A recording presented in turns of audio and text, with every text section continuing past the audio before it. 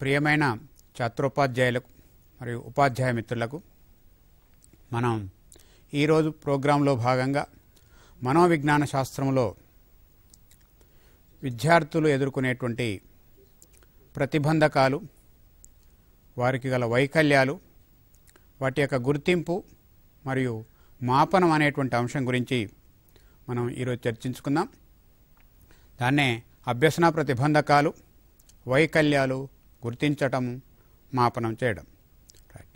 వీటి గురించి మనం ఒక టీచర్గా పనిచేస్తున్నటువంటి టీచర్ కానీ లేదా కాబోయేటువంటి టీచర్ కానీ ఎందుకు మనం చర్చించుకోవాలనేటువంటి అంశం గురించి మనం ఒకసారి ఆలోచించాల్సిన అవసరం ఉంది. ఎందుకు? ప్రతిబంధకం ఏంటి? అభ్యసించడంలో ఎదురయ్యేటువంటి బంధకాలు ఏంటివి? లేదా అభ్యసనాన్ని బంధిస్తున్నటువంటివి ఏంటివి? లేదా అభ్యసనాన్ని పురోగమనం లేకుండా వాటికి ప్రతిఘటిస్తున్నటువంటి అంశాలు ఏంటివి అనేటువంటి దాన్ని చూసుకున్నట్లయితే వాటిని ఒక రకంగా ఆటంకాలు కానీ వైకల్యాలు కానీ లోపాలు కానీ ఇబ్బందులు కానీ అని కూడా మనం చెప్పుకోవచ్చు. కాబట్టి ఇక్కడ అభ్యసన ప్రతిబంధకాలు అని అనుకున్నట్లయితే ముందు దీనికంటే ముందు మనం అసలు అభ్యసనం అంటే ఏందనేటువంటిది కానీ కూడా ఒకసారి మనం సూక్ష్మంగా డిస్కషన్ చేసుకుందాం. మనం ఆల్రెడీ ఇంతకుముందు క్లాసులలో కూడా మనం అభ్యసనం గురించి డిస్కషన్ చేశాం. ఏంటి అభ్యసనం అంటే ఏంటి? జనరల్గా పిల్లలు కూడా అభ్యసనం అంటే నేర్చుకోవడం అంటారు. అసలు నేర్చుకోవడం అంటే ఏంటిది? అంటే తెలియనటువంటి దాన్ని తెలుసుకోవడం. ఎప్పుడు తెలియనటువంటి దాన్ని తెలుసుకున్నామని ఎప్పుడు అది తెలుసుకున్నట్టు అనబడుతుంది అనుకున్నట్టయితే ఒక విషయాన్ని నేర్చుకున్నామంటే అది మన లోపల పదిలంగా పది కాలాల పాటు నిలిచిపోయి ఉన్నప్పుడే విషయాన్ని మనం నేర్చుకున్నట్టు. లేదా నేర్చుకున్న విషయాన్ని తిరిగి మనం చేయాలనుకున్నప్పుడు దానిపైన ఎలాంటి ప్రత్యేకమైనటువంటి ప్రయత్నాలు చేయకుండానే తిరిగి ఆ విషయాన్ని యథాతథంగా చేసినట్లయితే ప్రతిస్పందించినట్లయితే నిష్పాదన చేసినట్లయితే వల్ల వేసినట్లయితే పర్ఫార్మెన్స్ చేయగలిగినట్లయితే అప్పుడు ఆ విషయం మన లోపల నేర్చుకున్నాం అనిపిస్తుంది. లేదా ఒక విషయాన్ని నేర్చుకోక ముందుకు దాని ఎడల మనకు ఉండేటువంటి వైఖరులు కానీ దృక్పథాలు కానీ ఆలోచనలు కానీ భావాలు ఏదైతే ఉన్నాయో నేర్చుకున్న తర్వాత మనలో కలిగినటువంటి భావాలు కానీ వైఖరులు ఏదైతే ఉందో అటు మధ్యన ఉండేటువంటి మార్పులు కానీ వ్యత్యాసాలు కానీ భేదాలు కానీ ఇవన్నీ ఏదైతే ఉన్నాయో అవి మన లోపల శాశ్వతంగా ఉండిపోవాలా. అంటే ఒక విషయం నేర్చుకున్నటువంటి విషయానికి నేర్ నేర్చుకున్న విషయాన్ని నేర్చుకోక ముందుకు దాని ఎడల మన ప్రవర్తన ఎట్లా ఉంది? నేర్చుకున్న తర్వాత దాని మన ఎడల ప్రవర్తన ఎట్లా ఉంది అన్నప్పుడు ఆ ప్రవర్తనలో తప్పకుండా మార్పు ఉండాలి. అట్లా మార్పు జరిగినప్పుడు మాత్రమే విషయాన్ని విద్యార్థి కానీ వ్యక్తులు కానీ ఎవరైనా కానీ నేర్చుకున్నట్లు అనిపిస్తూ ఉంటుంది. మరి అట్లా మార్పు ఎప్పటి వరకు? ఇప్పుడు మీరు మనం ఇక్కడ స్టూడియోలో లేదా లెసన్ వింటున్నాం లైవ్ లెసన్ వింటా ఉన్నాం. ఈ విన్నటువంటి లెసన్ ఒక హాఫ్ అన్ అవర్ కాగానే లంచ్ టైం అయిపోతుంది. మనం రూమ్లలోకి వెళ్ళగా వెళ్ళే వరకే మర్చిపోయినాం అనుకోండి విన్న విషయాన్ని అప్పుడు అది నేర్చుకున్నట్లు కాదు. ఇక్కడి నుంచి వెళ్ళిన విషయము కాలేజీ దాటిపోయి ఇల్లు కూడా దాటిపోయి ఇంటికి వెళ్ళి ట్రైనింగ్ కూడా అయిపోయి టీచర్ అయిపోయినప్పుడు కూడా రేపు డిఎస్సి రాసేటప్పుడు కూడా ఆ విషయాన్ని ఒక్కసారి గుర్తు చేసుకున్నట్లయితే మనం తిరిగి దాన్ని శాశ్వతంగా ఎట్లా ఉందో అట్లా చెప్పగలిగినప్పుడే విషయం నేర్చుకున్నట్లు అర్థం. అంటే ఒక విషయం ఎడల మన యొక్క ప్రవర్తనలో నేర్చుకున్నామంటే దాని యొక్క ప్రవర్తనలో మార్పు రావాలా? ఆ మార్పు అనేటువంటిది మన లోపల శాశ్వతంగా ఉండిపోవాలా? అంటే ఒక వ్యక్తి ప్రవర్తనలో కలిగేటువంటి శాశ్వతమైనటువంటి పరివర్తనను అభ్యసనం అంటాం. Behavioural change permanent behavioural change is called the learning మరి how the learning will occurs అనేటువంటి దాన్ని ఒకసారి చూసుకున్నట్లయితే ఇక్కడ మనం ఇప్పుడు ఇక్కడ ఒక విషయాన్ని నేర్చుకోవడానికి మీరు ఇక్కడ విన్నారు. కూర్చున్నారు అంటే ఎట్లా నేర్చుకుంటా ఉన్నారు? వినడం ద్వారా నేర్చుకుంటా ఉన్నారు చూడడం ద్వారా నేర్చుకుంటా ఉన్నారు లేదా ఒక రెండు సంవత్సరాలు టీచర్ కావడం కొరకు ట్రైనింగ్లో ఇన్స్టిట్యూట్ చే చేరి మీరు టీచర్ కావాలని నేర్చుకుంటా ఉన్నారు. ఇక్కడ దీన్ని మీరు పొందేటువంటి దాన్ని శిక్షణ అంటారు. అంటే ఇక్కడ నేర్చుకోవడం అనేటువంటిది శిక్షణ ద్వారా కానివ్వండి లేదా మనం ఎదుగుతున్నా కొద్దీ వయసు పెరుగుతున్నా కొద్దీ జీవితకాలంలో పరిసరాలతో మనం ఏర్పడుతున్నటువంటి సంబంధ ప్రతిచర్యల వలన మనం రోజు రోజుకు కొన్ని అనుభవాలను పొందుతూ ఉంటాం. మరి ఇట్లా ఆ అనుభవం ద్వారా కానివ్వండి లేదా ఒక విషయాన్ని చేసిన దాన్ని మళ్ళీ మళ్ళీ చేయడం ద్వారా కానివ్వండి కూడా నేర్చుకుంటూ ఉంటాం. అంటే ప్రతిచర్యల ద్వారా నేర్చుకుంటాము.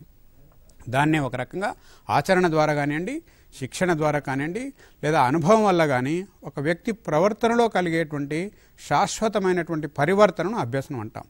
మరి శాశ్వత పరివర్తన కలగడంలో అభ్యసనం జరగడంలో ఎలాంటి ఇబ్బందులు వస్తూ ఉన్నాయి? విద్యార్థికి ఎటువంటి ప్రతిబంధకాలు ఎదురవుతా ఉన్నాయి? అవి తన ద్వారా వచ్చినాయా? లేదా పాఠశాల ద్వారా వచ్చినాయా? పాఠ్యాంశం ద్వారా వచ్చినాయా? లేదా బాడీ బయాలజికల్ యొక్క స్ట్రక్చర్ ద్వారా వచ్చినాయా? రీజన్స్ ఏంటివి అనేటువంటి దాన్ని కూడా మనం ఇప్పుడు నేర్చుకోబోతాం.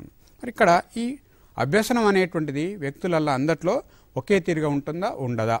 ఒక టీచర్ మనం పాఠం చెప్పినట్లయితే టీచర్ ఏమనుకుంటాడు? పిల్లలందరూ కూడా నేర్చుకోవాలనుకుంటారు. అందరికీ కూడా మంచి మార్కులు రావాలంటారు. అందరూ పాస్ కావాలంటారు. అందరూ ర్యాంక్ తెచ్చుకోవాలంటారు. కానీ అది సాధ్యం కాదు. క్లాస్ మొత్తంలో ఒకరికే ఫస్ట్ ర్యాంక్ వస్తూ ఉంది. అయినప్పటికీ సేమ్ లెసన్ విన్నప్పటికీ అందరు కొంతమంది ఫెయిల్ అవుతూ ఉంటారు. కొందరికి ఎక్కువ మార్కులు వస్తూ ఉంటాయి. కొందరికి తక్కువ మార్కులు వస్తూ ఉంటాయి. కొందరు మంచిగా చేయగలుగుతారు. కొంతమంది అసలే చేయలేకపోతారు. కొందరు యావరేజ్గా చేస్తూ ఉంటారు. అంటే ఇక్కడ విషయం ఒకటే అయినప్పటికీ అందరు విద్యార్థులు ఒక తరగతిలో ఒకే ఒకే మాధ్యమం ద్వారా ఒకే విధానం ద్వారా ఒకే వ్యక్తి ద్వారా నేర్చుకున్నప్పటికీ కూడా వాళ్ళ లోపల ఈ అభ్యసన రీతి అనేటువంటిది అభ్యసన లర్నింగ్ లెవెల్స్ అనేటువంటివి ఒకే తీరులో ఉండవు. ఎందుకు కారణం ఏంటిది అనుకున్నట్లయితే వారిలో ఉండేటువంటి వైయక్తిక భేదాలు కావచ్చు లేదా పాఠ్యాంశం యొక్క విషయం కావచ్చు లేదా ఒక వాళ్ళ యొక్క బ్యాక్గ్రౌండ్స్ కావచ్చు ఫ్యామిలీ బ్యాక్గ్రౌండ్ కావచ్చు సోషలాజికల్ బ్యాక్గ్రౌండ్ కావచ్చు లేదా ప్రీ జనరేషన్ బ్యాక్గ్రౌండ్ కావచ్చు లేకుంటే ప్రియర్ ఎక్స్పీరియన్సెస్ కావచ్చు ఏదైనా కావచ్చు వాటిని వాటిని మనం వైయక్తిక భేదాలు అనుకోవచ్చు. అంతేకాకుండా అవసరాలు కూడా. Need. Necessity leads to invention అంటారు. అవసరం అనేటువంటిది అన్వేషణకు దారితీస్తూ ఉంటుంది.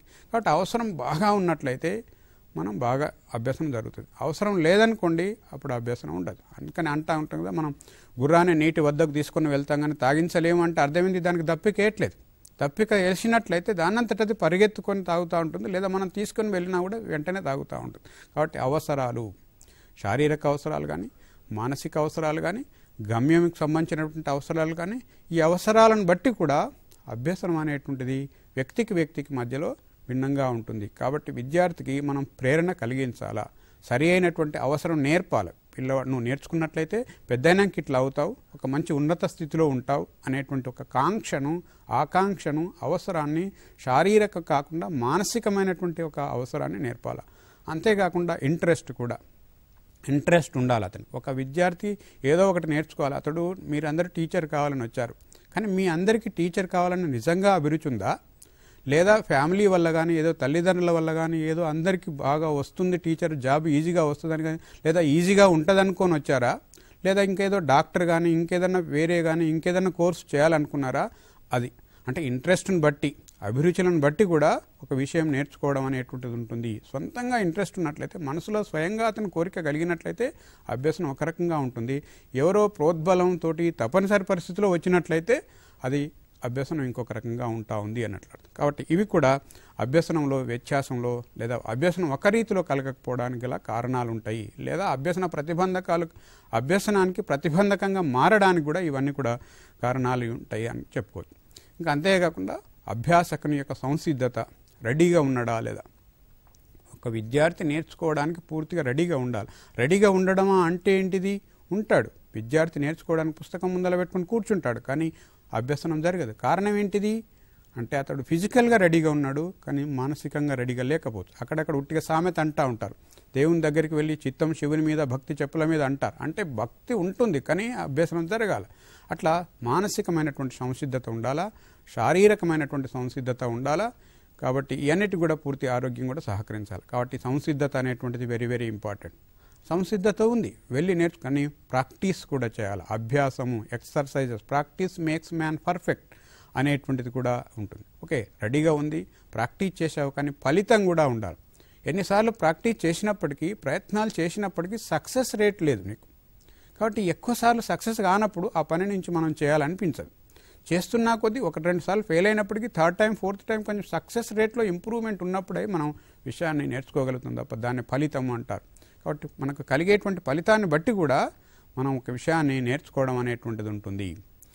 ఇవి ఇవి అన్నీ కూడా అంటే ఇవన్నీ కూడా ఒక రకంగా ఇండైరెక్ట్గా ఏంటంటే అభ్యసనానికి పాజిటివ్గా ఉన్నట్లయితే అభ్యసనం పాజిటివ్గా వెళ్తూ ఉంటుంది. ఒకవేళ ఇవన్నీ కూడా నెగటివ్గా ఉన్నట్లయితే అనుకున్న స్థాయిలో లేనట్లయితే అవన్నీ కూడా ఒక రకంగా నెగటివ్గా మారి అభ్యసన ప్రతిబంధకాలుగా ఆటంకాలుగా అభ్యసనానికి అంటే ఇబ్బంది కలిగించేటువంటి రీతిలో మారేటువంటి అవకాశాలు ఉంటాయి. ఇంకా అంతేకాకుండా వికాసాలు. అంటే ఒక వ్యక్తి యొక్క వికాసం. అంటే వ్యక్తి జన్మించినప్పటి నుంచి చివరి వరకు వికాసం చెందుతూ ఉంటాడు. అంటే అతడి యొక్క పుట్ట జన్మం ప్రాణం ఎప్పుడైతే జీవి తల్లి గర్భంలో జైగోట్ ఎప్పుడైతే ఏర్పడుతూ ఉంటుందో ఏర్పడేపటి నుంచి కణ విభజన జరిగినప్పటి నుంచి క్రమంగా క్రమంగా ఎదుగుతూ ఉంటాడు దాన్ని వికాసాలు అంటారు. ఈ వికాసాలు కానీ వికాసాలలో ఉండేటువంటి లోపాలు కానీ వాటి యొక్క నిర్మాణం కానీ వాటికి అందుతున్నటువంటి పోషకాలు కానీ లేదా తల్లిదండ్రుల నుంచి జన్యుపరంగా సంక్రమించినటువంటి ఆరోగ్య పరిస్థితులు కానీ వ్యాధులు కానీ అవయవ లోపాలు కానీ అవన్నీ కూడా మనకేంటంటే ఇట్లా వికాసాలు కూడా మనకు అభ్యసనాన్ని ప్రభావితం చేస్తుంది దాంట్లో శారీరక వికాసం కానీ మానసిక వికాసం కానీ సాంఘిక వికాసం కానీ ఈ ఉద్వేగ వికాసాలు ఏవైతున్నాయో ఈ వికాసాలు వీటి యొక్క లక్షణాలు కూడా ఆ స్థాయిలలో ఉన్నాయా లేదా అనేటువంటిది కూడా మనకు అభ్యసనాన్ని ప్రభావితం చేసేటువంటి అంశాలలో ముఖ్యమైన పాత్ర వహిస్తాయి. రైట్ ఇవి అభ్యసనానికి ప్రభావితం చేస్తాయి. మరి ఎందుకు ఇట్లా? అంటే కారణాలు ఏమి అంటే ఎందుకు సంసిద్ధత కానీ రెడీనెస్ కానీ ఫలితం కానీ లేకుంటే ఈ వికాస స్థాయిలు కానీ డిఫరెంట్గా ఉండడానికి గల కారణాలు ఏమున్నాయి? వ్యక్తి వ్యక్తికి ఏం కారణమైంది అనుకున్నట్లయితే ఒకటి అనువంశికత హెరిడిటీ అంటారు కదా తల్లిదండ్రుల నుంచి తన బిడ్డకు లేదా మనకు సంక్రమించి మన తల్లిదండ్రుల నుంచి మన సంతతి నుంచి మన తాతల నుంచి మన మామయ్యల నుంచి మన యొక్క బంధువుల నుంచి మన యొక్క బాబాయిల నుంచి మనకు వంశపారంపర్యంగా జన్యుపరంగా తరతరాల నుంచి మనకు కొన్ని లక్షణాలు అనేటువంటి మనకు అబ్బుతూ ఉంటాయి. సంక్రమిస్తూ ఉంటాయి జన్యువుల నుంచి. కాబట్టి ఆ జన్యుపరంగా మనకు వచ్చినటువంటి లక్షణాలు కానివ్వండి లేదా మనం పెరుగుతూ ఉన్నటువంటి పరిసరాలు తప్పకుండా వ్యక్తి అనేటువంటి వాడు సంఘజీవి. శిశువు కూడా సంఘజీవి. విద్యార్థి కూడా సంఘజీవి. కాబట్టి సంఘం లోపల పాఠశాల లోపల కుటుంబం లోపల తన చుట్టుపక్కల ఉండేటువంటి ఇరుగు పొరుగు వారితోటి అతడు ఎట్లాంటి పరిసరాలు పెరుగుతూ ఉన్నాడు. మంచి పరిసరాలలో ఉన్నట్లయితే విద్యార్థి మంచిగా ఉంటాడు. లేదా పరిసరాలు సరిగ్గా లేనట్లయితే సరి అయినటువంటి వికాసం జరగదు. అందుకని అంటారు ఒక నలుగురు మంచి స్నేహితులతో ఉన్నట్లయితే మంచివాడు అవుతాడు లేదా మంచి స్నేహితులు లేనట్లయితే మంచివాడుగా కాడు అనేటువంటిది కూడా అక్కడక్కడ పెద్దలు మనకు చెప్తూ ఉంటారు. కాబట్టి తప్పకుండా ఈ పరిసరాలు అనేటువంటివి ఏంటివి? జననపూర్వ పరిసరాలు కానీ జననాంతర పరిసరాలు కానీ ఈ జననాంతర పరిసరాలనే తీసుకున్నట్లయితే భౌతిక పరిసరాలు కానీ మానసిక పరిసరాలు కానీ సాంఘిక పరిసరాలు కానీ ఈ అభ్యసన పరిసరాలు కానీ ఇవన్నీ కూడా తప్పకుండా ఈ యొక్క అభ్యసనం పైన ప్రభావితం చూపిస్తూ ఉంటాయి. అంతేకాకుండా శరీర నిర్మాణం. అంటే విద్యార్థి యొక్క శరీర నిర్మాణం. అంటే యాజ్ ఎ టీచర్గా మనం ఎందుకు పిల్లవాడు విద్యార్థి నేర్చుకోలేకపోతా ఉన్నాడు? అనేటువంటి నేను చెప్పిన అందరూ నేర్చుకున్నాడు వీడు ఎందుకు రాలేకపోయిండు అన్నప్పుడు ఇవన్నీ అన్ని యొక్క అంశాలు అతనిలో ఉంటాయి అనేటువంటి దాన్ని యాజ్ ఎ టీచర్గా మనం గమనించాల్సిన అవసరం ఉంటుంది.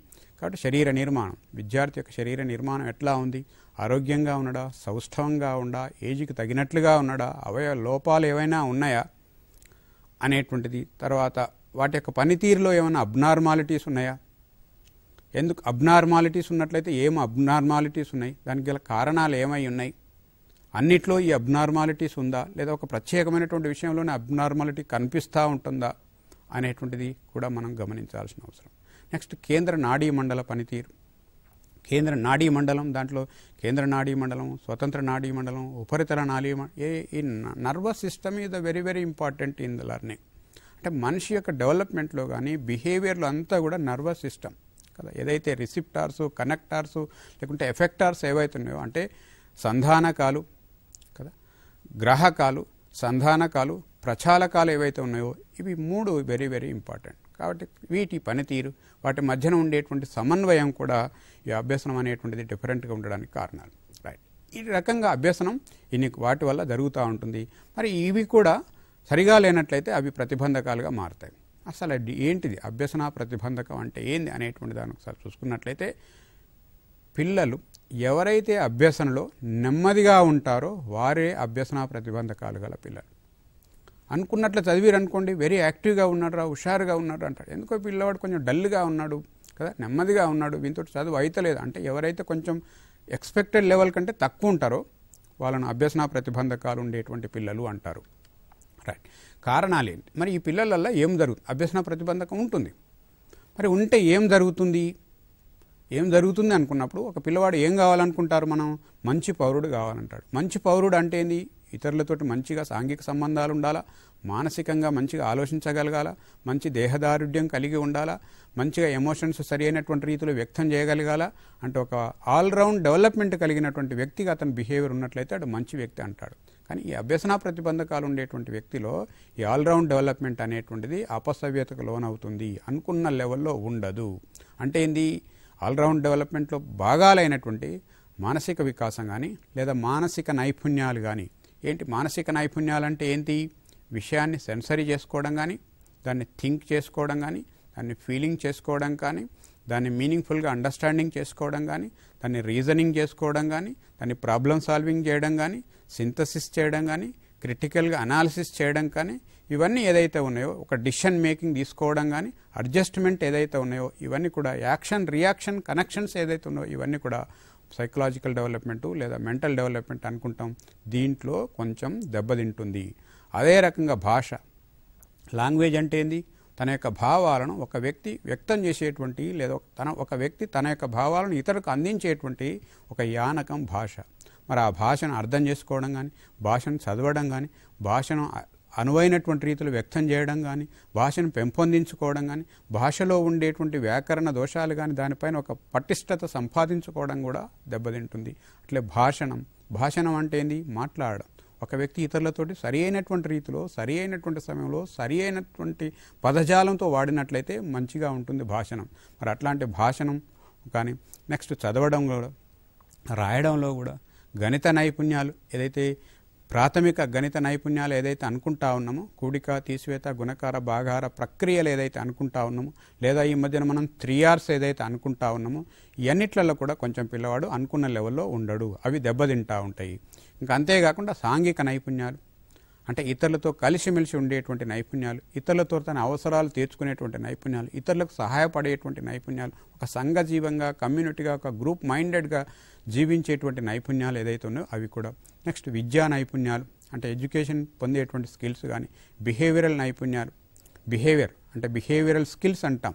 బిహేవియరల్ స్కిల్స్ అనేటువంటివి ఇండివిజువల్ బిహేవియర్ ఉండొచ్చు um, సోషల్ బిహేవియర్ ఉండొచ్చు నార్మల్ బిహేవియర్ ఉండొచ్చు అబ్నార్మల్ బిహేవియర్ ఉండొచ్చు ఇంటర్నల్ బిహేవియర్ ఉండొచ్చు ఎక్స్టర్నల్ బిహేవియర్స్ ఉండొచ్చు ఇన్ని రకాలైనటువంటి బిహేవియర్స్ ఉంటాయి. ఈ అన్నిట్లో మనం అనుకున్నంత లెవెల్ లేకుండా ఈ నైపుణ్యాలు అనేటువంటివి కొంచెం దెబ్బతింటా ఉంటాయి. ఈ నైపుణ్యాలు అనుకున్న లెవెల్ కంటే తక్కువగా ఉన్నట్లయితే ఆ పిల్లవాడిలో ఏదో ఒక రకమైనటువంటి అభ్యసన ప్రతిబంధకం ఉంది. అనేటువంటి దాన్ని యాజ్ ఏ టీచర్గా మనం గమనించాల్సిన అవసరం ఉంది. రైట్ ఇక్కడ క్లాస్ రూమ్లో ప్రైమరీ స్కూల్లో ఉన్నట్లయితే అభ్యసన ప్రతిబంధకాలు ఉండేటువంటి పిల్లల్ని మనం ఎట్లా కొంచెం గుర్తించవచ్చు వాళ్ళ యొక్క లక్షణాలు ఏంటి అనేటిదాన్ని ఒకసారి సూక్ష్మంగా మనం చూద్దాం. ఇక్కడ పిల్లలు కొత్త కష్టమైన విషయాన్ని అభ్యసించడంలో కష్టపడతారు. అంటే పిల్లలు మామూలుగా నేర్చుకునే విషయాలు కాకుండా ఏదైనా కొత్త విషయం కానీ కొంచెం డిఫికల్ట్గా ఉండేటువంటి విషయాన్ని నేర్చుకునేటప్పుడు కొంచెం ఇబ్బంది పడుతూ ఉంటారు. తర్వాత షూ లేసులు వేసుకోవడం కానీ కట్ వాటిని కట్టుకోవడంలో కానీ బట్టలు వేసుకోవడంలో కూడా పిల్లలు ఇబ్బంది పడుతూ ఉంటారు. అంటే ఎక్కువ అభ్యసన ప్రతిబంధకాలు ఉండేటువంటి పిల్లల యొక్క లక్షణాలు. నెక్స్ట్ ఏంటంటే మాట్లాడడంలో కూడా మాట్లాడడంలో ప్రతిబంధకం. అంటే మాట్లాడడంలో మాట్లాడిందే అంటే తడబడతా ఉండడం కానీ నత్తిగా పడుతూ ఉండడం కానీ స్పష్టంగా మాట్లాడలేకపోవడం కానీ మాటకు మాటకు మధ్యన సరైనటువంటి కోఆర్డినేషన్ లేకపోవడం కానీ లింక్ సరిగ్గా లేకపోవడం కానీ అది అంటే మాటలో ఉండేటువంటి వాయిస్ అనేటువంటి సరిగ్గా ప్రతిస్పందించకుండా అర్ధరంత అర్థవంతంగా లేకపోవడం కానీ ఇవన్నీ కూడా. ఇంకా ఇతర పిల్లలతో పోల్చుకుంటూ తమను తాను తక్కువగా అంచనా వేసుకుంటారు పిల్లలు. అంటే కొంచెం పిల్లలు ఇన్ఫీరియర్ ఫీల్ అవుతూ ఉంటారు. నాకు రాదు. నేను తక్కువగా ఉన్నా నేను మొద్దు అని. అంటే అక్కడక్కడ ఈ పనులు చేసేటప్పుడు టీచర్ గమనిస్తారు తల్లిదండ్రులు గమనిస్తారు తోటి వారు కూడా గ్రహిస్తారు కాబట్టి వాళ్ళకి సైకలాజికల్ నాలెడ్జ్ పరిజ్ఞానం కొంచెం తక్కువగా ఉంటుంది కాబట్టి పిల్లవాడిని బ్లేమ్ చేస్తారు. అతనిపైన ఒక ముద్ర వేస్తాడు అరే వీనికి మాటలు సరిగా రావు. లేదా వీడు నత్తివాడు వీడు చెవిటివాడు వీడు మొద్దు వీడికి ఈ పని రాదని మనం కొంచెం అక్కడక్కడ లేబులింగ్ వేస్తూ ఉంటాం. ఆ లేబులింగ్ వల్ల పిల్లలు ఏంటంటే తన యొక్క ఆత్మ న్యూనతా భావానికి లోనైపోయి తనను తాను తక్కువ అంచనా వేసుకొని కుంచుకొని పోయి ఫ్రీగా అసోసియేషన్ గారు తద్వారా ఏంటంటే డే టు డే చేసేటువంటి డెవలప్మెంటల్ యాక్టివిటీస్ ఏదైతే ఉన్నాయో అవి వెనుకబాటుకు లోనవుతూ ఉంటాయి. ఆటోమేటిక్గా అది మాల్ అడ్జస్ట్మెంట్కు మెంటల్గా ఫ్రస్ట్రేషన్స్కి డీల్ అయిపోయి ఇంకా ప్రతిబంధకంగా ఎక్కువైపోతూ ఉంటాయి అన్నట్టు. తర్వాత జ్ఞాపక శక్తి కూడా కొంచెం పిల్లలకు తక్కువగా ఉంటుంది.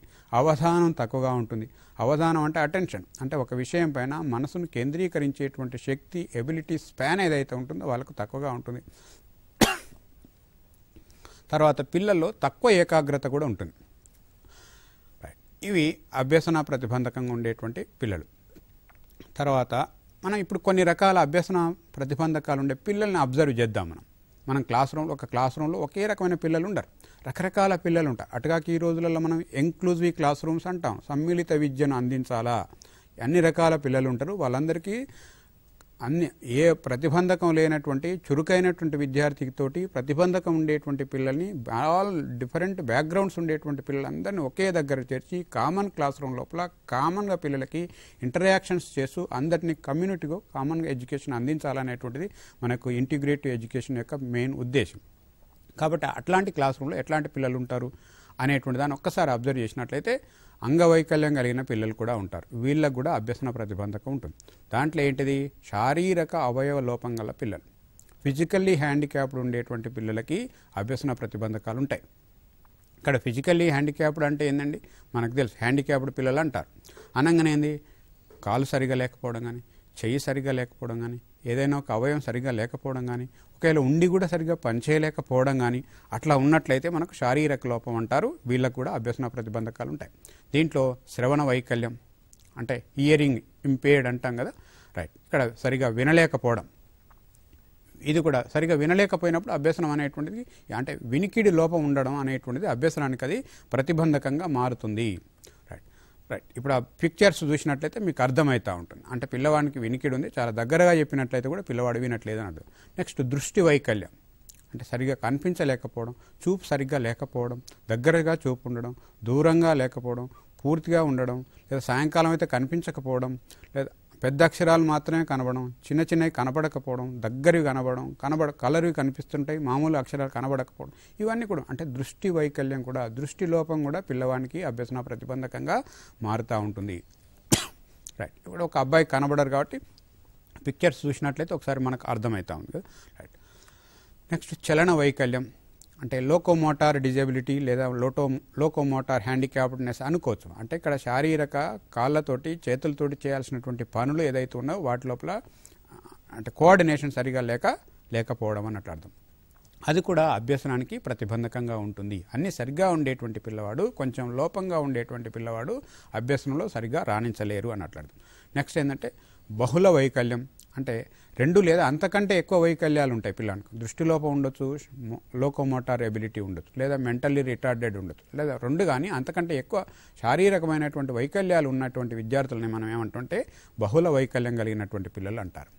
రైట్. ఇక్కడ ఇంకొకటి మనం స్పెసిఫిక్గా ఈ పదాన్ని చూడొచ్చు. సార్ ఇప్పుడు మీరు అన్నారు అభ్యసన ప్రతిబంధకం అంటే తక్కువ స్థాయి ఉండే పిల్లలు అన్నారు. ఇక్కడ ప్రతిభావంతులు ఎందుకు వస్తుంది అనేటువంటి దాన్ని చూసుకున్నట్లయితే ప్రతిభావంతులు అంటే గిఫ్టెడ్ చిల్డ్రన్ గిఫ్టెడ్ చిల్డ్రన్ కూడా కామన్ క్లాస్ రూమ్ ప్రతిబంధకం అని చెప్పుకోవచ్చు ఒక రకంగా. ఎందుకంటే అతడు చాలా తెలివైనటువంటి వ్యక్తి. అతడు నేర్చుకోవడానికి క్లాస్ రూమ్లో సరైనటువంటి వనరులు సరిపోవట్లేదు. విషయాన్ని విన్ వెంటనే నేర్చుకున్నాడు. డబుల్ ప్రమోషన్ లేదు. అట్లాంటి దాన్ని కూడా కొంచెం వీళ్ళకు ఉండేటువంటి ప్రతిబంధకాలు వీళ్ళకు ఉంటాయి సృజనాత్మకత కలిగినటువంటి పిల్లలు. అంటే సృజన క్రియేటివ్ చిల్డ్రన్ అంటారు కదా. అంటే ఉన్న దాంట్లో కాకుండా ఉన్న దాంట్లో కొత్తదనంగా ఆలోచించేటువంటి పిల్లలు అన్నట్టు అర్థం. కాబట్టి వీళ్ళకు కూడా ప్రతిబంధకాలు సరైన ప్రోత్సాహం లభించకపోవడం కూడా ఏరియాస్ లేకపోవడం పని సరిగా లేకపోవడం ఇవంతా కూడా ఉంటుంది. నెక్స్ట్ బుద్ధిమాంద్యం మెంటలీ రిటార్డెడ్ పిల్లలు కూడా.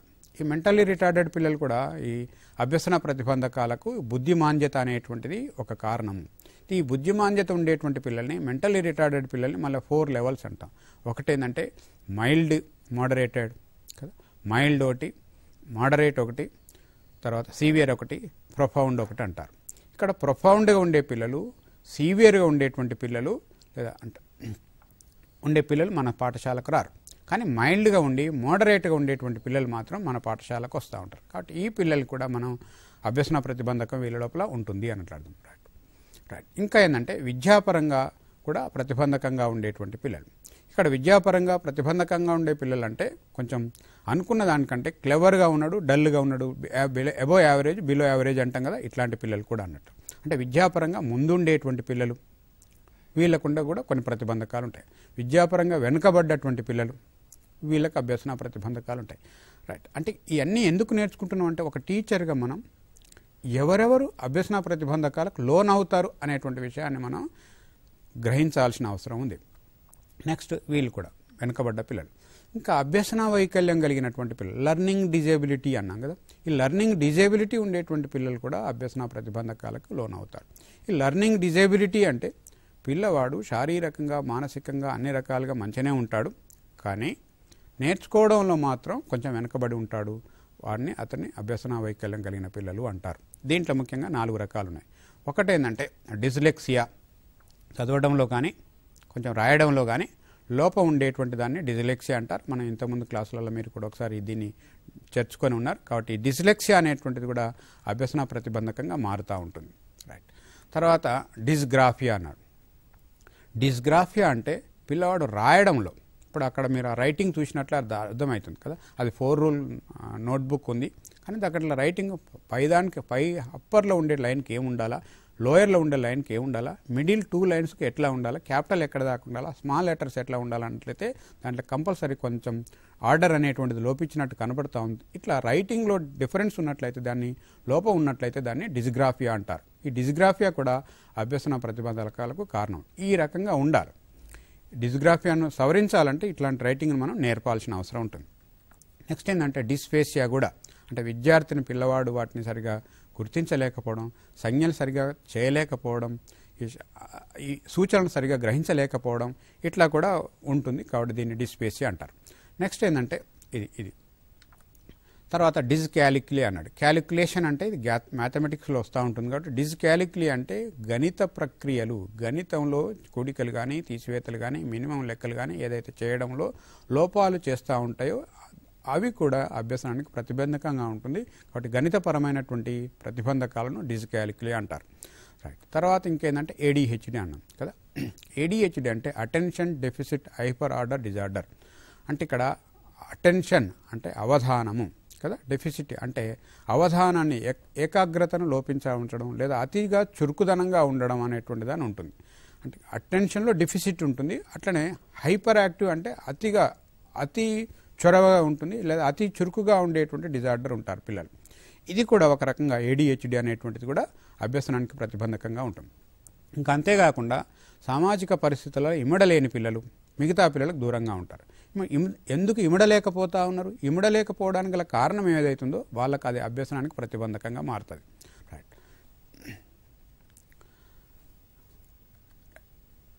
స- దీంట్లో ఏంటంటే మనం ఒక రకంగా అభ్యసనానికి మారే పిల్లలల్లా ఇమడలేనటువంటి పిల్లలు ఎవరైతే ఉన్నారో దాన్ని మనం తీసుకున్నట్లయితే విషమ యోజన గల పిల్లలు అనుకోవచ్చు. ఇట్లా మాల్ అడ్జస్ట్మెంట్ ఉండే పిల్లలు. మాల్ అడ్జస్ట్ అంటే ఏంది? అడ్జస్ట్ కాలేకపోతాను ఎవరితోటి? పక్క వాళ్ళతో. పక్క వాళ్ళతో అడ్జస్ట్ అయితలేరంటేంది నేను పక్క వాళ్ళతో ఇమ్మడలేకపోతున్నా నేను. నేను అక్కడ ఉండను. నేను వేరే ఉంటా లేకుంటే వెళ్ళిపోతా వాళ్ళతో కలిసి ఉన్నా కారణం ఏంది?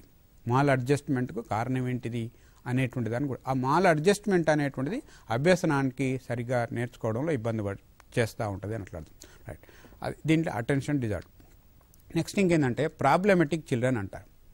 వీరు వెరీ ప్రాబ్లం అండి క్లాస్ రూమ్లో. మీరు కూడా టీచింగ్ ప్రాక్టీస్ వెళ్ళినప్పుడు కానీ ఇంకెక్కడ కానీ చిన్న మీ ఇంట్లో దగ్గర ఉండేటువంటి మీ బంధువుల పిల్లలు కానీ చూసినట్లయితే ప్రాబ్లమ్ వెరీ ప్రాబ్లమెటిక్ పిల్లలను అంటాడు. వాడు ఆ- అది ఆ లక్షణం కూడా పిల్లవానికి అభ్యసనానికి ఇబ్బందిగా మారుతూ ఉంటుంది అని అట్లా తర్వాత బాల నేరస్తులు. చిన్నప్పటి నుంచే కొంచెం నేర స్వభావం కలిగి ఉండడం అది అనువంశికంగా రావచ్చు ఎట్లనైనా కావచ్చు. నెక్స్ట్ డీవియంట్ పిల్లలు. ఇక్కడ పాజిటివ్గా డివేట్ అవుతారు కొంతమంది నెగటివ్గా కూడా డివియంట్ అవుతారు. ఇట్లాంటి డివియంట్ అయ్యేటువంటి చిల్డ్రన్ కూడా ఉంటుంది. తర్వాత ఉద్వేగపరంగా స్థిమితం లేని పిల్లలు. అంటే ఎమోషనల్గా ఎమ్మాడే బ్యాలెన్స్ ఉండరు. అంటే ఎమ్మాడే మంచిగా ఉంటారు మళ్ళీ ఇమీడియట్గా మూడ్గా ఉంటారు. అట్లా అట్లా ఎమోషనల్ డిస్టర్బెన్స్గా ఉండేటువంటి కనిపించేటువంటి పిల్లలు కూడా ఉంటారు. రైట్ ఇన్ని రకాలైనటువంటి పిల్లలు మనకు క్లాస్ రూమ్లో ఉంటారు. వీళ్ళందరూ ఈ లక్షణాలన్నీ కూడా వాళ్ళ యొక్క అభ్యసనానికి ప్రతిబంధకాలుగా మారుతూ ఉంటాయి. సరే అవి వాళ్ళు చేస్తున్నటువంటి మరి ఎట్లా గుర్తించాలి? యాజ్ ఏ టీచర్గా యాజ్ ఏ ఫాదర్గా యాజ్ ఏ పేరెంట్గా మనం ఈ పిల్లల్ని అభ్యసన ప్రతిబంధకం ఉండే పిల్లల్ని ఏ రకంగా గుర్తిస్తాము అనుకున్నట్లయితే వాళ్ళను వైద్య పరీక్షల ద్వారా గుర్తిస్తారు. అంటే టెస్ట్ల ద్వారా మనం గుర్తించాలా? నెక్స్ట్ ఏంటంటే కుటుంబం పాఠశాల పరిసరాల అంటే కుటుంబం నుంచి సమాచారం సేకరించుకొని కానీ పాఠశాల నుంచి సమాచారం సేకరించుకొని కానీ పరిసరాల నుంచి పరి సమాచారం సేకరించుకోవడం ద్వారా కానీ మనం డాక్టర్ రిపోర్ట్స్ ద్వారా కానీ లేక పిల్లల యొక్క ప్రవర్తనను వాళ్ళ యొక్క బిహేవియర్ను అబ్జర్వ్ చేయడం ద్వారా కానీ దాన్ని ఎస్టిమేట్ చేయడం కానీ మనం ఈ యొక్క చేయాలి. తర్వాత ఇంకంటే? సమవయస్కులు అంటే తోటి వాళ్ళ ఫ్రెండ్స్ తోటి కానీ కలిసిమెలిసి ఉండే పిల్లల ద్వారా మనం సమాచారం సేకరించుకోవడం ద్వారా కానీ లేదా బంధువుల నుంచి కానీ సమాజం నుంచి కానీ ఉపాధ్యాయుని దగ్గర ఉండేటువంటి ప్రశ్నావళి నుంచి కానీ లేదా హై రిస్క్ రిజిస్టర్స్లో ఉండేటువంటి నమోదైనటువంటి ఇన్ఫర్మేషన్ బట్టి కానీ లేదా ఇంకా ఆబ్జెక్టివ్ స్కేల్స్ని బట్టి కానీ మనం తెలుసుకోవాలి. తర్వాత స్థాయికి తగినటువంటి వికాస లక్షణాలు పరిశీలన. అంటే ఏజ్కి తగ్గటువంటి డెవలప్మెంట్ ఉందా లేదా? ఆ డెవలప్మెంట్ క్యారెక్టరిస్ట్ ఎట్లా ఉన్నాయి? అనేటువంటి దాన్ని మనం అబ్జర్వ్ చేస్తూ ఉండి కూడా మనం ఈ యొక్క అభ్యసన ప్రతిబంధకం ఉందా లేదా అనేటువంటిది తెలుసు ఇంకా అంతేకాకుండా చెక్ లిస్టుల ద్వారా కేస్ స్టడీల ద్వారా అచీవ్మెంట్ టెస్ట్ల ద్వారా. అచీవ్మెంట్ టెస్ట్లు అంటే ఏంటివి? పిల్లవాడికి స్కూల్లో నెల నెల ఎగ్జామ్ పెడతా ఉంటారు. వీక్లీ వీక్లీ ఎగ్జామ్ పెడతా ఉంటారు. మూడు నెలలకు ఆరు నెలలకు సంవత్సరం ఎగ్జామ్ పెడతా ఉంటారు.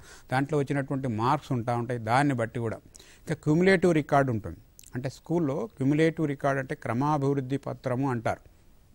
పిల్లవాడు స్కూల్లో జాయిన్ అయినప్పటి నుంచి వాడు స్కూల్ నుంచి వెళ్ళిపోయిన తర్వాత ప్రతి సంవత్సరం ప్రతి మాసం సబ్జెక్టు పరంగా ఆటల పరంగా విషయం పరంగా కరికులర్ పరంగా కో కరికులర్ పరంగా అతనికి సంబంధించిన సమాచారం అంతా అక్కడ రికార్డు చేయబడుతూ ఉంటుంది. కాబట్టి ఆ రికార్డులను బట్టి కూడా మనం తెలుసుకోవచ్చు అని అట్లాడతాం నెక్స్ట్ ఏంటంటే అనెక్డోటల్ రికార్డుని బట్టి కూడా సంఘటన రచన పుస్తకం అంటాం కదా దాన్ని బట్టి కూడా మనం విషయాన్ని తెలుసుకోవచ్చును అంటాడు నెక్స్ట్ ఏంటంటే ఇంటర్వ్యూస్ బట్టి పిల్లవాడితో మాట్లాడినటువంటి మాటలను బట్టి సర్వేలు చేసి కూడా ఇంకా సైకలాజికల్ టెస్టులు కండక్ట్ చేసి కూడా మన పిల్ల చిన్న చిన్న పిల్లవాడికి అతనికి మెంటల్ ఎబిలిటీ ఎట్లా ఉంది సైకలాజికల్ ఎట్లా ఉంది సెన్సరీ ఎబిలిటీ ఎట్లా ఉంది మోటార్ ఎబిలిటీ ఎట్లా ఉంది అడ్జస్ట్మెంట్ ఎబిలిటీ ఎట్లా ఉంది న్యూమరికల్ ఎబిలిటీ ఎట్లా ఉంది అనే వర్బల్ ఎబిలిటీ ఎట్లా ఉంది లాజికల్ ఎబిలిటీ ఎట్లా ఉంది అనేటువంటి సైకలాజికల్ టెస్టులు ఉంటాయి.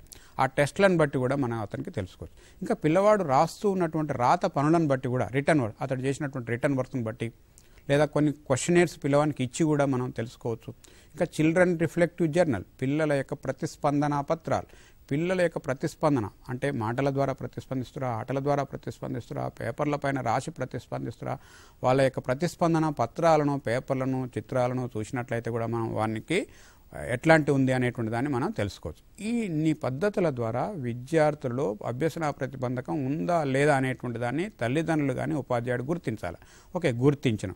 గుర్తించినాక వాటిని సవరించడానికి మనం ఏం చేయాలా? అన్నప్పుడు దీంట్లో అందరికి బోధిస్తూ వారికి ఏం చేయాలి? ప్రత్యేకంగా కొంచెం సవరణ బోధన చేయాలి. దాన్ని రిమీడియల్ టీచింగ్ అంటారు. ఈ రిమీడియల్ టీచింగ్ కొరకు ఎట్లాంటి టెక్నిక్స్ వాడాలా అనేటువంటి దాన్ని మనం ఒకసారి అబ్జర్వ్ చేద్దాం. దాంట్లో ఒకటి ఏంటంటే ప్రథమ పఠన ఉపగమం అనేటువంటిది ఒక అప్రోచ్ అంటే దీన్ని బేసల్ రీడింగ్ అప్రోచ్ అంటారు. అంటే దీంట్లో ముఖ్యమైనటువంటి పదాలను కూడా కొన్ని తీసుకొని వాటినే మళ్ళీ మళ్ళీ ప్రాక్టీస్ చేపిస్తూ ఉండి పిల్లవానికి నేర్పించడం అనేటువంటిది ఒకటి. ఇంకా ధ్వనులకు సంబంధించినటువంటి సంబంధించిన ఉప దీన్ని ఓరల్ రీడింగ్ అంటే కొన్ని పదాలను మళ్ళీ మళ్ళీ మళ్ళీ మళ్ళీ అనిపిస్తూ ఉండి ఓరల్గా వాటితో రిపీట్ చేస్తూ ఉండి వినిపిస్తూ చేస్తూ ఉండి చేయడం. తర్వాత మూడోది ఏంటంటే భాషానుభవ ఉపగమం. లాంగ్వేజ్ ఎక్స్పీరియన్స్ అప్రోచ్ అంటారు. లాంగ్వేజ్ ఎక్స్పీ ఎక్స్పీరియన్స్ అనేటువంటి అప్రోచ్ ద్వారా కూడా మన పిల్లవానికి ఈ దీన్ని మనం అభ్యసన ప్రతిబంధకాలను మనం సవరించవచ్చు. అంటే ఇవన్నీ అభ్యసన ప్రతిబంధకాలను అధిగమించడం కొరకు ఏకైక మార్గం ఏంటంటే క్లాస్ రూమ్లో టీచర్ చేయాల్సిన మార్గం ఏంటంటే సవరణ బోధన చేయాలి. రిమీడియల్ టీచింగ్ చేయాలా. ఆ రిమీడియల్ టీచింగ్ ఎన్ని పద్ధతుల ద్వారా చేయొచ్చు అనుకున్నట్లయితే ప్రథమ పఠన ఉపగమం ద్వారా ఓరల్ రీడింగ్ ఉపగమనం ద్వారా లాంగ్వేజ్ ఎక్స్పీరియన్స్ ఉపగమనం ద్వారా నెక్స్ట్ ప్రోగ్రామ్డ్ లెర్నింగ్ అప్రోచ్ అన్నాం. ఈ ప్రోగ్రామ్డ్ లెర్నింగ్ అప్రోచ్ ద్వారా కానీ విషయాన్ని చిన్న చిన్న భాగాలు చేసి ఫ్రేమ్స్ చేసి దాంట్లోనే ఫ్రేమ్ ఉంటుంది రిజల్ట్ ఉంటుంది రీఎన్ఫోర్స్మెంట్ ఉంటుంది రిజల్ట్ అన్నీ కూడా వస్తాయి కదా దాన్ని బట్టి కూడా. నెక్స్ట్ మల్టీ సెన్సరీ అనుకున్నాం కదా బహుళ ఇంద్రియ ఉపగమం అన్నాం కదా దాని ద్వారా ఇప్పుడు ఒకసారి మనం ఈ వీడియో ఒకసారి చూడండి. ఈ మల్టీ సెన్సరీ అప్రోచ్ అనేటువంటిది ఏంటిది అనుకుంటున్నట్లయితే మల్టీ సెన్సరీ అంటే ఎట్ ఏ టైం ఎక్కువ సెన్సెస్ పనిచేయాలి. ఇప్పుడు మీరు ఇక్కడ పాఠం లెక్చర్ ఇచ్చినట్లయితే వింటారు. కానీ ఇప్పుడు ఇక్కడ ఏం చేస్తున్నారు? వింటున్నారు చూస్తున్నారు గ్రహిస్తూ ఉన్నారు ఆ చిత్రాలను చూస్తూ ఉన్నారు. అంటే ఎట్ ఏ టైం మనకు ఉండేటువంటి ఐదు జ్ఞానేంద్రియాలు మనకు ఉంటాయి ఈ ఐదు జ్ఞానేంద్రియాలు ఎట్ ఏ టైం ఒకేసారి ఎక్కువ జ్ఞానేంద్రియాలు పనిచేసినట్లయితే అక్కడ విషయాడు ఎక్కువగా నేర్చుకుంటాడు అన్నట్టు అట్లా కాకుండా ఏకకాలంలో ఒకే జ్ఞానేంద్రియం పనిచేసినట్లయితే అవగాహన తక్కువగా ఉంటుందని అర్థం. ఈ రకంగా reading thinking writing mathematic abilities అన్ని ఎట్ ఏ టైం పనిచేయాలి.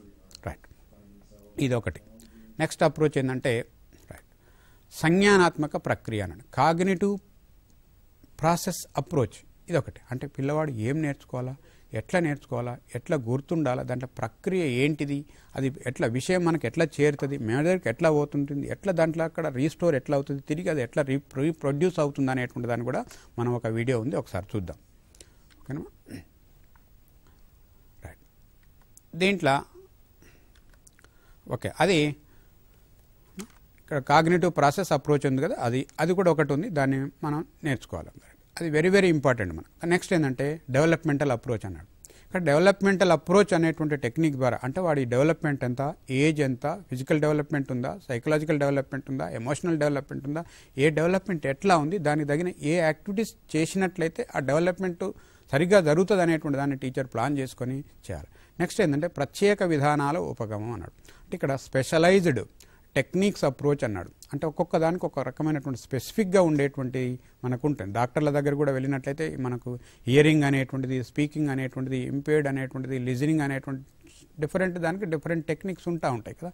అట్లాంటివి కూడా వాడు. Next behavioural approach. ప్రవర్తనాత్మక ఉపగమం అన్న కదా. బిహేవియరల్ అప్రోచ్ అనేటువంటి దాన్ని కూడా వాడాలి. నెక్స్ట్ ఏంటంటే text test related approach. Test అంటే ఒక పరీక్ష పెట్టి దానికి ఎట్లా రిజల్ట్ వచ్చింది దానికి రిలేటెడ్గా ఎట్లాంటి అప్రోచ్ వాడాలనేటువంటిది టెస్ట్ రిలేటెడ్ అప్రోచ్ను నెక్స్ట్ మానసిక చికిత్సా విధానము. అంటే ఇక్కడ సైకోథెరపిక్ అప్రోచ్ సైకోథెరపీ అంటే థెరపీలు చేయడం. ఫిజియోథెరపీ అని సైకోథెరపీ అని అంటూ ఉంటాం. అట్లా పిల్లవాడి యొక్క సైకాలజీ ఎట్లా ఉంది? ఏ రకంగా ఉంది? ఎబిలిటీస్ ఎట్లా ఉన్నాయి? థింకింగ్లో ఎబిలిటీ ఉందా? మెమరీలో ఎబిలిటీ ఉందా? అనాలిసిస్లో ఎబిలిటీ ఉందా? సెన్సేషన్లో ఎబిలిటీ ఉందా? అనేటువంటి దాన్ని బట్టి మనం దాన్ని బట్టి థెరఫిక్ చేయాల్సిన అవసరం ఉంది. నెక్స్ట్ ఏంటంటే నిర్ధారణ సూచన ఉపయోగం డయాగ్నాస్టిక్ డయాగ్నాస్టిక్ అంటాం కదా. ఈ డయాగ్నాస్టిక్ సజెస్టివ్ అప్రోచ్ కూడా ఉంది. ఈ అప్రోచ్ని మనం క్లాస్ రూమ్లో సవరణ టీచింగ్ కొరకు ఉపాధ్యాయుడు వాడచ్చు. ఇవే కాకుండా ఇంకా ఏంటంటే సరిదిద్ది. ఈ అప్రోచ్ల ద్వారా విద్యార్థులలో ఉండేటువంటి ప్రతిబంధకాలను సరిదిద్ది అనుగుణ్యమైనటువంటి మానసిక విద్య సాంఘిక ప్రవర్తన నైపుణ్యాలను పెంపొందించాలా? ఈ ఏం నైపుణ్యాలు పెంపొందించాలా? మానసిక నైపుణ్యం పెంపొందించాలా? విద్యా నైపుణ్యం పెంపొందించాలా? సాంఘిక సామాజిక నైపుణ్యాలు పెంపొందించాలా? Behavioural skills పెంపొందించాలా? అది మన యొక్క విద్య లేదా పాఠశాల ఉపాధ్యాయుని యొక్క లక్ష్యం లేదా ధ్యేయము ద్విధి కూడా. దానికోసం పై ఉపగమాలతో పాటు ఇంకా ఎట్లాంటి ఎక్సర్సైజెస్ చేయించవచ్చు పిల్లవానికి అనుకున్నట్లయితే ఒకటి శ్రవణ నైపుణ్యాన్ని పెంపొందించే అభ్యాసాలు చేయించవచ్చు తర్వాత దృశ్య ప్రత్యక్షాన్ని పెంపొందించే అభ్యాసాలు పెం చేయించవచ్చు. నెక్స్ట్ చలన సమన్వయ నైపుణ్యం అంటే చలన సమన్వయం అంటే లోకోమోటార్ అంటే అంటే కాళ్ళకు చేతులకు మధ్యన సంబంధం ఉండేటువంటి కోఆర్డినేషన్ పెంపొందించేటువంటి ఎక్సర్సైజెస్ మనం చేయించా ఉండాలి. తర్వాత ఐ హ్యాండ్ కోఆర్డినేషన్ పెంపొందించేటువంటి స్కిల్స్ డెవలప్ చేసేటువంటి ఎక్సర్సైజ్ చేయించాలా. తర్వాత థింకింగ్ స్కిల్స్ను డెవలప్ చేసేటువంటి ఎక్సర్సైజెస్ని మనం చేయించవచ్చు. తర్వాత రీడింగ్ స్కిల్స్ని డెవలప్ చేసే ఎక్సర్సైజెస్ రైటింగ్ స్కిల్స్ని డెవలప్ చేసేటువంటి ఎక్సర్సైజెస్ తర్వాత మ్యాథమెటికల్ స్కిల్స్ని డెవలప్ చేసేటువంటి ఎక్సర్సైజెస్ తర్వాత మెమరీ ఎబిలిటీని డెవలప్ చేసేటువంటి ఎక్సర్సైజెస్ ఆర్గనైజేషన్ స్కిల్స్ని డెవలప్ చేసేటువంటి ఎక్సర్సైజెస్ను దైనందిన డైలీ లైఫ్లో తను లైఫ్ను డైలీ లైఫ్ను ఈజీగా డెవలప్ కొనసాగించేటువంటి ఎక్సర్సైజెస్ తర్వాత following the guidance instruction develop చేసేటువంటి ఎక్సర్సైజెస్ చేయొచ్చు అంతేకాకుండా రీడింగ్ కాంప్రహెన్షన్ కానీ అనలిటికల్ రీడింగ్ కానీ క్రిటికల్ రీడింగ్ కానీ రీడింగ్ రెడీనెస్ కానీ తర్వాత శూన్య నిరాకరణ అనేటువంటి పద్ధతిని వాడడం కానీ లేదా అత్యల్ప నిర్మ అంటే బ్యారియర్ ఫ్రీ ఎన్విరాన్మెంట్ని క్లాసులో కల్పించడం కానీ లేదా టీచర్తో పాటు తల్లిదండ్రులను కూడా సమానంగా భాగస్వామ్యం చేసి కూడా వాళ్ళకు కూడా ఎడ్యుకేట్ చేసి వాళ్ళని కూడా చేయడం కానీ ఇంకా ఇంక్లూజివ్ ఎడ్యుకేషన్కి సంబంధించినటువంటి day to day up to date contemporary ఏదైతే ఉన్నాయో అవి కూడా చేయడం. ఈ ఇక్కడ ఇంక్లూజివ్ ఎడ్యుకేషన్ అనుకున్నట్లయితే దాంట్లో మనం ఒక్కసారి చూసినట్లయితే విద్యార్థులందరూ వారి పని లోపల పాఠశాలలో సాధారణ తరగతిలో విద్యను అభ్యసించాలా? అదొకటి. నెక్స్ట్ వికలాంగులైన విద్యార్థులందరికీ అన్ని కృత్యాల్లో పాల్గొనే అవకాశం ఇవ్వాలా? ఆ కృత్యాలు ఎట్లుండాలా? వాళ్ళు చేయగలిగేదిగా ఉండాలి. రైట్. నెక్స్ట్ విద్యార్థులందరికీ తగిన సేవలను చేయూతను సపోర్ట్ ఇవ్వాలి మనం వ్యక్తిగతమైనటువంటి విద్యా గమ్యాలను సాధించాలి. అంటే ఎవరి లెవెల్ ఎట్లా ఉంది దానికి తగ్గ టార్గెట్ ఇవ్వాలి కానీ అందరికీ కామన్ టార్గెట్ ఇస్తే రీచ్ కాలేరు. నెక్స్ట్ వికలాంగులైన విద్యార్థుల్ని విడదీయద్దు సపరేట్ చేయకుండా కామన్ గ్రూపులలో చేయాలా? తర్వాత సమ్మిళిత పాఠ్య ప్రణాళిక సమాజంలోని భిన్న సంస్కృతుల అభివృద్ధికి ఉండాలి. అంటే అన్ని కల్చర్స్ క్రాస్ కల్చర్లు కానీ డిఫరెంట్ కల్చర్స్ ఉండేటువంటి పిల్లలలో డెవలప్ కావడం కోసం కూడా మనకి క్లాస్ రూమ్లో టీచర్ ఇంటిగ్రేటివ్ సిలబస్ ఉండాలి. విద్యార్థులందరినీ స్వాగతించాలి. అంటే ఆల్ డిఫరెంట్ ప్రాబ్లమ్స్ ఉన్న పిల్లల్ని కూడా మనం వెల్కమ్ చేసేటట్లుగా ఉండాలా? వాళ్ళలో ఉండేటువంటి వీక్నెస్ బట్టి కానీ పొరపాటును బట్టి కానీ, తప్పును బట్టి కానీ విద్యార్థిని అందించకూడదు. తర్వాత గ్రేడ్ స్థాయిలకు సమానంగా విద్యార్థులకు ప్రమాణాలు చేరుకోలేనప్పుడు వాళ్ళని తప్పించకూడదు. అంటే నువ్వు ఫెయిల్ అయిపోయినవరా నేను నేను డీటైన్ చేస్తా ఉన్నా క్లాసుకు రానివ్వను బయటకు పంపిస్తున్నా లేదా నెక్స్ట్ ఇయర్ మళ్ళీ ఇదే క్లాస్లో ఉండాలా అనేటువంటి రీతిలో అట్లా ఉన్నట్లయితే పిల్లవాడు ఆత్మన్యూనకు అవుతూ ఉంటాడు కాబట్టి అట్లాంటి భావనకు లోన్లు కాకుండా చూడాలి. తర్వాత తల్లిదండ్రుల ప్రమేయం కూడా కంపల్సరీ ఉండాలి. వివిధ బోధనా రీతుల వ్యూహాలను ఉపయోగించాలి. ఇంకా విజయాన్ని రుచి చూపించాలి. కొంచెం కొంచెం నేర్చుకున్నాకనే పిల్లవానికి వెరీ గుడ్. బాగా నేర్చుకున్నావు సక్సెస్ అయినావు చాలా బాగా చేసినావు నిన్నటికంటే ఈరోజు బాగా చేసినావు ఇంకా రేపు ఇట్లా కొంచెం ప్రయత్నం చేస్తూ ఉండని అతన్ని కొంచెం యూ హ్యావ్ టు అప్రిషియేట్ ఇది ఇది సక్సెసెస్ తగినట్లుగా అభినందించాలా? అంతేకాకుండా స్వీయ గ- సెల్ఫ్ రెస్పెక్ట్ కల్పించాలా? ఇంకా ఇతరులతో కలిసిపించే అవకాశం ఇవ్వాలా? కోఆపరే ఇంటర్పర్సనల్ కోఆపరేషన్ ఇవ్వాలా? సామాజిక స్థాయిని గరిష్ట స్థాయిలో పిల్లవాడు సాధించేటట్లుగా ఉండాలి. ఇవన్నీ కూడా మనం ఉపాధ్యాయుడు ఇవన్నీ ఎట్టేయటం దేనికి దాన్ని సపరేట్ కాదు. అన్నీ కూడా ఒకదానితో ఒకటి ఇంటర్లింక్ అయి ఉంటాయి కాబట్టి విషయాన్ని బట్టి సందర్భాన్ని బట్టి విద్యార్థిని బట్టి అన్నిటి యొక్క మిళితంగా చేసి మనం టెక్నిక్ని వాడాలి. ఓకే ఈ అభ్యసన ప్రతిబంధకాలను అధిగమించాలంటే ఉపాధ్యాయుడు ఏం చేయాలా? అనుకున్నట్లయితే ఉపాధ్యాయుడు సవరణ బోధన చేయాలా? నెక్స్ట్ ప్రత్యేకమైనటువంటి ఒక శ్రద్ధను పెట్టాలా? అనేక వివిధ రకాలైనటువంటి అభ్యాసాలను తన బోధనలో వాడాలా? నెక్స్ట్ తల్లిదండ్రులు ఏం చేయాలా? సమాన భాగస్వామ్యాన్ని తీసుకోవాలా? పిల్లవానికి అందించాలా? బాధ్యత వహించాలా? తల్లిదండ్రులు కూడా ఆ విషయాలను పాఠశాల దృష్టికి తీసుకొని రావాలా? అవసరమైనటువంటి చికిత్సా కేంద్రాల దగ్గరికి తల్లిదండ్రులు వెళ్ళాలా? వాళ్ళకు గైడెన్స్ అందించాలా? అంతేకాకుండా తల్లిదండ్రులు కూడా న్యూనతాభావానికి లోన్ అవుతూ ఉంటారు. అట్లా లోన్ కాకూడదు. కుటుంబ సభ్యులందరూ కూడా వారికి సహకరించాలా?